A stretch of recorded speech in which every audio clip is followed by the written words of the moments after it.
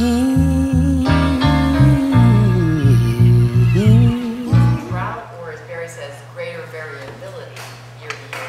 is our future? Won't that increase pressure to take more water out of the delta the warm water out of the bay and surf bay? Yep. If so why would it? Next question, Adam, yeah. is Adam's perspective right that we have to go to the water board and we have to change our fundamental water rights policy that's existed for 150 years? And, and it's, and, and, and the problem's worse than that. Um, The, um, you know, on, on top of drought, on top of the water rights, um, um, problem that, that Adam mentioned, which is very significant. Um, um, Adam mentioned our overwhelming groundwater, and that's kind of the secret problem in California. Um, um, statewide, we're over, according to the state, we're over pumping between one and two million acre feet of water a year. Nobody really knows if that's the right number. It's certainly gotten worse in recent years. What's your averaging period? But assume that two million acre feet is the right number. It's about three times as much water as the city of Los Angeles uses a year. It's a big number. We've pumped so much water out of the Central Valley that the Sierra Nevada mountains are a little bit taller than they used to be. Just a little, it's by a fraction of an inch. But think about that, all that water weighs, a- weighs a lot, and we've taken all that water out of the ground, and the ground has rebounded. The Sierra Nevada is just a little higher than it used to be because we've taken so much water in the Central Valley. And solving that problem is going to be staggering. But the good news is that the state passed groundwater management legislation last year that just starts the process of managing our groundwater nationally in California.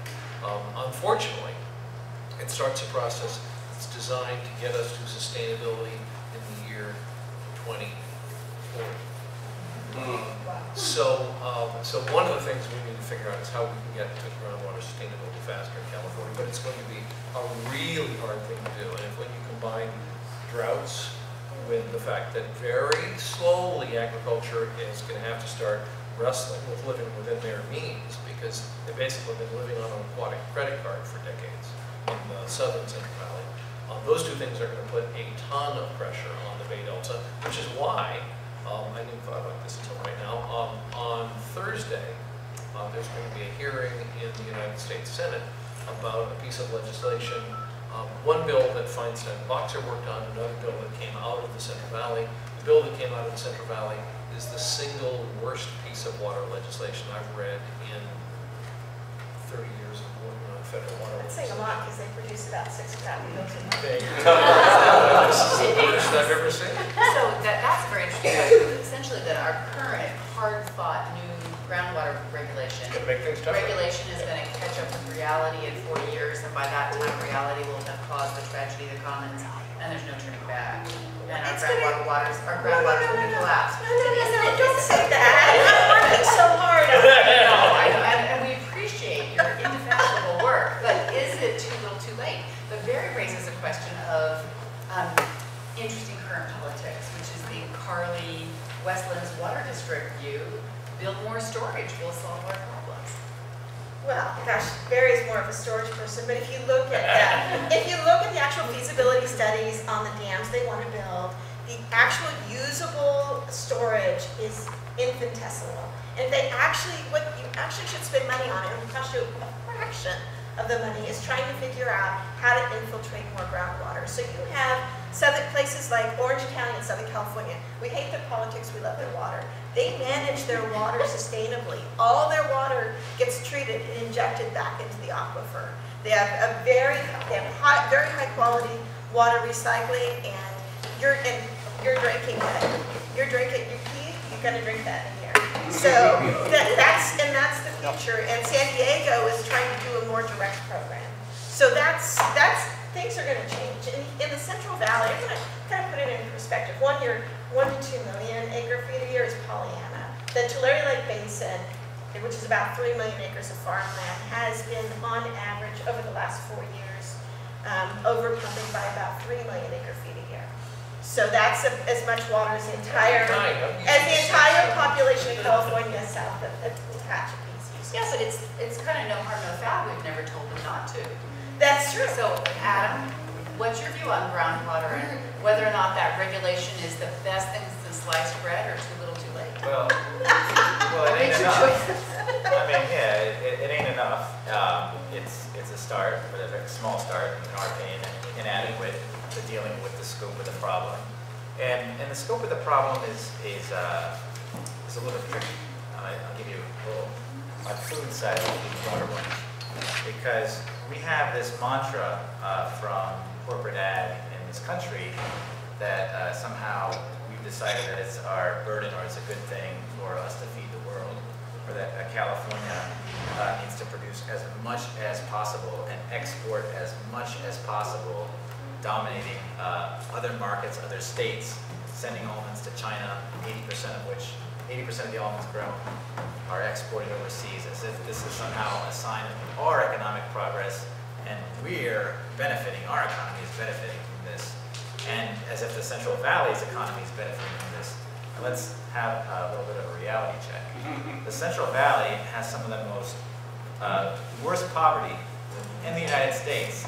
Not only do they have some of the worst poverty, they have some of the highest hunger rates. In the middle of the most productive agricultural region in the world. Don't forget their water quality is crap. Their water quality is crappy too. The water that, uh, that, the- the- that we're irrigating the farms But the good of the expense of news is, delta. the good news is, is they're losing their water because the overpumping of groundwater is drying up all the. So we're gonna see a. We're gonna see a desertification of the Central Valley if, if things continue as they would. Yeah, With absolutely. one S, not choose. Absolutely, and so, uh, those of us who want to see, who would, who would prefer to see our ag land, because that's great soil, our ag land used to feed Californians and have a healthy food system for Californians, and not just Californians, we probably grow enough for the region too, no problem there. We're at risk of losing that, and that's also true of the Salinas Valley. Same problem there, we have massive groundwater overpumping, vastly underestimated, we have a huge strawberry boom, uh, exporting uh, like crazy all over the country. So when we talk about the drought, you look at okay, our tap water supply, that, that's one way of looking at it, and it's an important way of looking at it, but we also need to look at this in a more holistic way. And ag is the elephant in the room, and we have to fundamentally shift our goals and, and the way we produce here in the state. But, but let's bring it back to San Francisco. Jennifer, you noted that we are self-contained here in San Francisco, but aren't we only self-contained because we got to Hetch Hetchy first and We're we not. dammed it? We're not self-contained. We are whole, we are, we're very dependent on diverting water from the delta. And that's what you have to understand. is San Francisco is not like special. We're helping to deprive water fish of- from, water from fish as well. Well, we're special because we have senior water rights. Well, we, And well, there's this, we have senior water rights, but they're this- junior to the two, uh, to the two irrigation districts that Sure, but, but that said, relatively to most of California, San Francisco got there first. We have this pristine water, and when you talk to our politicians, they'll be damned, or or they'll continue the dams if uh, they're, you know, if, if anybody wants to take away our water. Aren't we just like Westlands Water District and all those other Central Valley water districts that say, hey, not our problem, you came later, you suffer? In some sense, yeah, the senior wa, the, the, the assignment of water rights by time rather than by use and need is one of the problems with water rights assignments. I would say that San Francisco takes more responsibility than Westlands. They give the Park Service, think about thirty million dollars a year for Which is kind of like watershed. Taliban versus ISIS, right? Well, I hope not, I hope not. So they get, they, they pay about thirty million dollars a year to the Park Service to help manage the watershed. They are, they haven't, they, one of the things they did when they were reforming was create a natural resource division.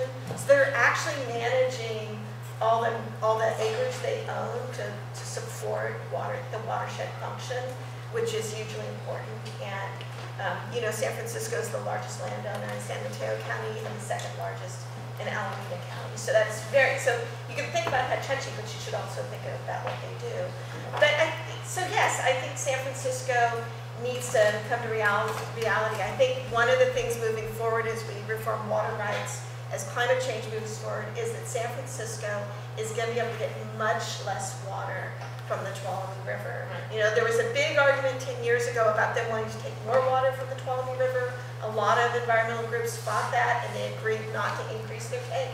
But really, I think that one thing we're gonna see with, from climate change, as you've seen with Australia's drought, is a dramatic reduction in the water we get to divert from the 12. So I'm very interested in Barry's take on San Francisco vis-à-vis the health of the bay.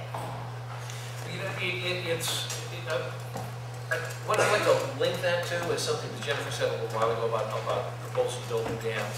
And she's absolutely right, that, that there's, the problem with the, that there are a number of proposals for new dams in California. The problem is there's just no water left to capture. We have, um, statewide, the state regulates, uh, dams in California. If you have a dam over a certain size or capacity, the state regulates you to make sure that you're not causing, um, uh, threats to public safety if you're not maintaining your dam. The state regulates, um, over twelve hundred dams in California. Um, We have a lot of dams, so when you build the 1201st and the 1202nd, you, you don't get as much water out of that as when you build the first and second. Um, So the amount of water we squeeze out of our rivers with new dams is tiny. And the amount of water we would squeeze out of our rivers during droughts is nothing, because our rivers are running dry during our droughts. So, so in order to meet our water needs over the long term, we need a new plan. The old plan for 100 years was pretty simple. It was, when the city's growing, find a new river, build a dam, build a pipe just a little bit farther to that next, next river. And that just doesn't work. Um, uh, and an example about that, uh, of that, um, um, the, the city of Las Vegas, Las Vegas' water manager, is a really recently retired, but a really prominent um, um, um, controversial figure, said that her city needed to go to the next river in order to get more water. The next river for Las Vegas is the Mississippi River. That's not a joke, because every river between Las Vegas and the Mississippi River is out of water. Every river is maxed out between Las Vegas and the Mississippi. Same is true for us. Our rivers are pretty much tapped out. We'll occasionally get a big gully washer um, uh, because of El Nino. That will happen occasionally. We might build some little surface storage facilities, but really, what, the reason we're not building those facilities is because they just don't pencil out anymore. Agriculture's pushing for those traditional big dams, and they'll only work if you guys are generous enough to pay for them. Um, um, They, they can't, won't even conceivably pay for them themselves. So in, a- in, a- in contrast with the tiny amount of water you can squeeze out of new dams, um, how much water do we dump into the ocean every year? California dumps into the ocean treated wastewater, about four million uh, acre feet a year. That's six times what Los Angeles uses. The state's target for recycling water is two million acre feet by 2030, and we have a long way to go. But that means that that, that four million acre feet is more water than the, the, the combined flows of the Tuolumne River, the Merced River, and the Stanislaus River. The, the biggest river in Southern California is the city of Los Angeles's waste outfall in the Santa Monica Bay. So the, we used to look at new dams, new, at, at damming new rivers as the way you meet the needs of a growing state, and that's over. Um, the, the- which is why there isn't a city left in California that is proposing to build one of these big new dams. They're just not on the priority list for cities in California, are for agriculture. Um, but what we're gonna be focusing on is wastewater recycling, more water use efficiency, we're gonna keep pushing that. Um, capturing urban stormwater, gray water recycling, better groundwater management, that's the future.